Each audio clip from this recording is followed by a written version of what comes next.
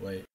I am holding a flag with multiple flag patterns of the LGBTQ, and I, Matthew Coolman Toxic, am very homophobic and which gay people a slow and painful and comedic death in the wood chipper, and to prove it by burning the flag that appears to be glued in my hand.